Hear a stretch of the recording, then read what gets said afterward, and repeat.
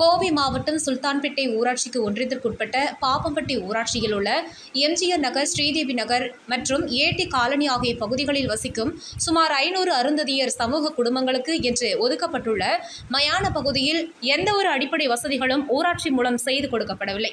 திறந்த விலையில் உள்ளதால் இங்கு சட்டவிரோதமாக இரவோடு இரவாக பிணங்களை கொண்டு வந்து எரித்துவிட்டு சென்று விடுகிறார்கள். இங்கு மின்கம்பம் உள்ளது ஆனால் வெளிச்சம்தான் இல்லை. குறிப்பாக இருபத்தி நான்கு இன்று இருபத்தி நான்கு அடியே அதாவது வெறும் நான்கு சென்ட் இடம் உள்ளது. அதிகபட்சமாக இருபது முதல் இருபத்தைந்து பிணங்களை புதைப்பதற்கு சாத்தியம்.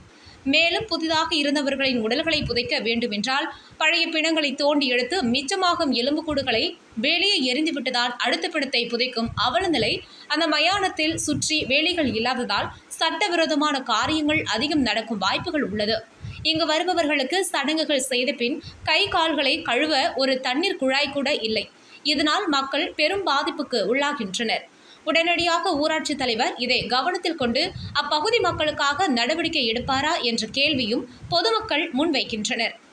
வின் எக்ஸ்பிரஸ் செய்திகளுக்காக கோவி மனோகரன்.